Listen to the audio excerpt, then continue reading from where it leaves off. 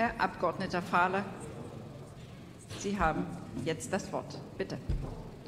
Sehr geehrte Frau Präsidentin, meine sehr geehrten Damen und Herren!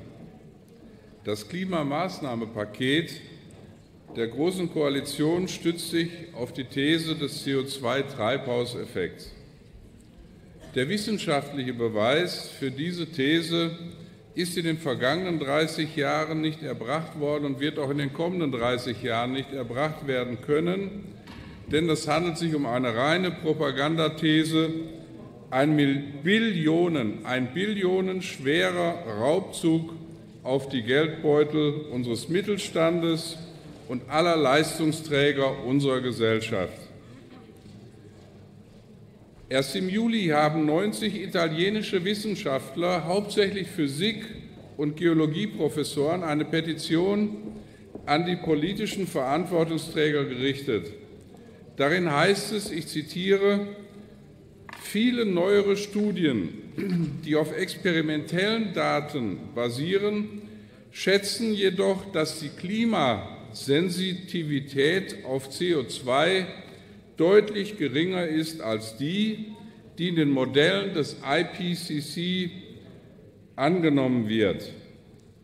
Ein Einschub von mir, das ist das Gremium bei den Vereinten Nationen, das weltweit allen Menschen weismachen will, dass wir kurz vor einem Verbrennen der Erde stehen, wenn wir den CO2-Ausstoß nicht drastisch reduzieren.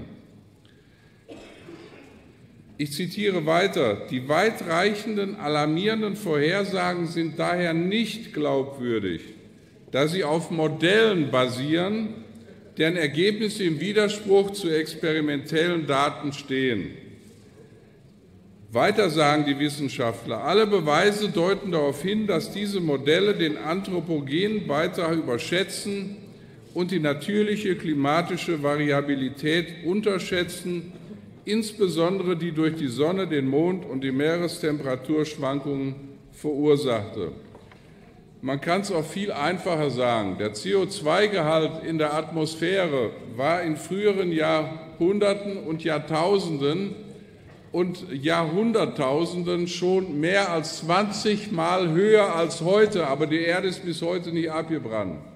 Und dem CO2, dem CO2 ist es egal, ob es beim Hausbrand entsteht oder in der Natur entsteht durch die Photosynthese oder sonst was. Es ist immer CO2, ein geruchloses, geschmackloses Gas, auch wenn Sie das nicht begreifen.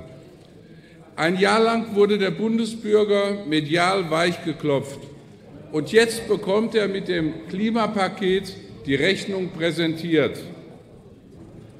Das Klimapaket der Bundesregierung soll bis 2023 angeblich 54 Milliarden Euro kosten. Die Wahrheit sieht ganz anders aus. Jetzt findet nur der sanfte Einstieg statt mit 10 äh, Euro pro Tonne CO2, die zu zahlen ist, wenn, man das, äh, wenn das in die Atmosphäre kommt.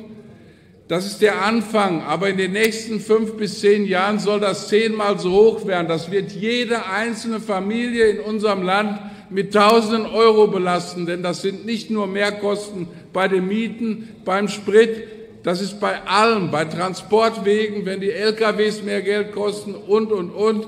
Das heißt, diese Steuer wird durchschlagen an alle Endverbraucher. Und das haben Sie jetzt als Einstieg von der GroKo beschlossen, und zwar ohne jeden Sinn und Verstand. Die GroKo sagt, sie wollen die CO2-Steuer sozial gerecht gestalten. Das Gegenteil ist richtig.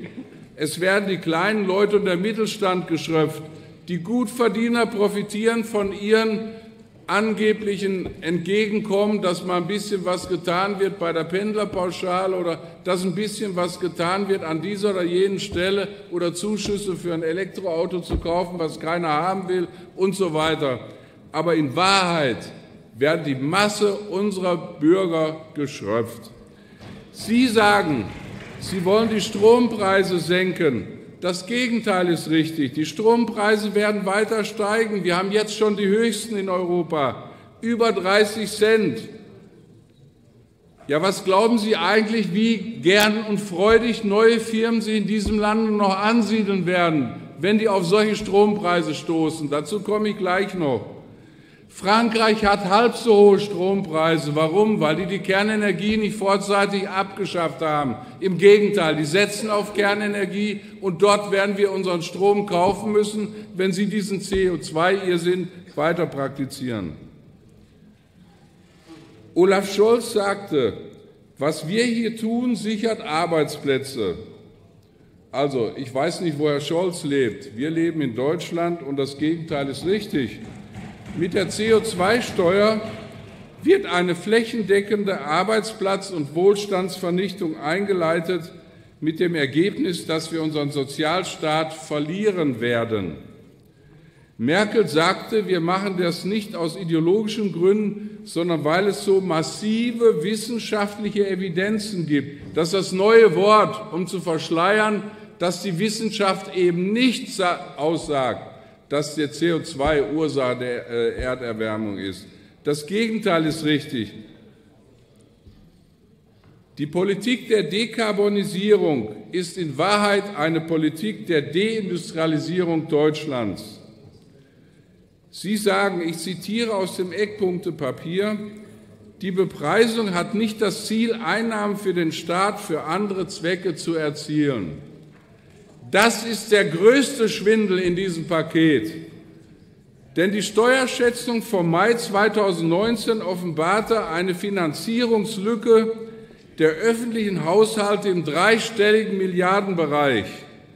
Die im Eckpunktepapier enthaltenen Belastungen stehen zu den Entlastungen im Verhältnis von 3 zu 1. Dieses Verhältnis verstärkt sich mit jedem Jahr zulasten der Bürger aufgrund der geplanten Anhebung der CO2-Steuer von jetzt 10 Euro auf bald schon 100. Und viele fordern sogar bei den Grünen und bei den Umweltverbänden 180 Euro pro Tonne. Dann sind viele Firmen jetzt aktiv von der Pleite bedroht. Wir werden einen Exodus an Arbeitsplätzen in diesem Land erleben. Kritiker des Maßnahmenpakets sagen, die Luftbesteuerung würde keine Lenkungswirkung entfalten, da die Höhe der Steuer zu niedrig sei. Das mag schon sein, aber die Umweltverbände haben schon ein Riesenergebnis erzielt. Die permanente Hetze gegen den Diesel mit der CO2-Lüge unterfüttert hat schon dazu geführt, dass wir massive Einbrüche bei den Arbeitsplätzen bei den Autozulieferern haben und dass die großen Autofirmen massiv Arbeitsplätze abbauen. Ich bringe nur beispielhaft ein paar Zahlen aus dem Bereich der Zulieferer. Bosch, Bosch hat gesagt, beim Diesel haben wir zehn Mitarbeiter, beim Benziner noch drei und beim E-Auto nur einen einzigen. Das heißt, die werden ihre Belegschaft auf ein Drittel runterfahren. Continental haben angekündigt, mit dem Aufsichtsrat vor einigen Wochen 5000 Arbeitsplätze abzubauen. Mahle hat angekündigt, 380 zu entlassen. Scheffler baut 700 Stellen ab. Autotest Eisenach GmbH, der Automobil äh, lässt, entlässt 154 Mitarbeiter. Weber Automotive hat Insolvenz angemeldet. Ende Juli ging der Zulieferer Eisenmann in die Insolvenz. VW baut 7000 Arbeitsplätze ab in Hannover und Emmen, Audi 10.000 in Ingolstadt und Neckarsulm, BMW 6.000 vor allem in München. Hydro, der Aluminiumhersteller, baut 700 Arbeitsplätze ab. Die meisten anderen Aluminiumwerke haben bereits Deutschland verlassen, weil die Strompreise nicht bezahlbar sind, auch für die Industrie nicht mehr. Viele andere haben schon auf Kurzarbeit umgestellt. Und jetzt muss ich Ihnen eins ganz klar sagen. Der größte Arbeitsplatzvernichter in diesem Zusammenhang, das ist die Große Koalition und das sind auch Sie, die Kenia-Koalition in diesem Land. Bei uns wollen Sie 16 16.000 gute Arbeitsplätze vernichten mit dem Kohleausstieg. Das sehen wir jetzt schon, wozu das führt. Romonta ist bei uns in Mansfeld-Südhaus der Kernbetrieb, den man erhalten muss. Warum gehen die pleite, wenn sie pleite gehen, was wir hoffen, dass wir es verhindern können? Weil die CO2-Zertifikate kaufen müssen für 8,5 Millionen mittlerweile. Wenn der Preis weiter ansteigt, dann sind die pleite. Das darf nicht sein. Dieser CO2-Schwachsinn muss gecancelt werden. den Burgenlandkreis und so weiter. Ich will das nicht vertiefen. Die Auto und Sie haben diese Kenia-Koalition nur zusammenbasteln können als Zugeständnis für die Grünen, dass unsere Braunkohle stirbt. Und das werden wir Ihnen noch wirklich um die Ohren hauen, weil Sie betrügen damit die Leute in diesem Land. Und das ist das Werk von Herrn Haseloff. Das muss man ganz deutlich so sehen. Die Automobilindustrie ist unser wichtigster Industriezweig. Die Pkw-Produktion. Herr Kollege, Ihre ich weiß, ich, bin, ich muss jetzt beendet. Schluss machen. Das Einzige, was ich jetzt noch anführen will, ist, ich freue mich schon auf Ihre Redebeiträge und werde dann noch mal eine saftige Erwiderung machen. Vielen Dank. Vielen Dank, Herr Abg.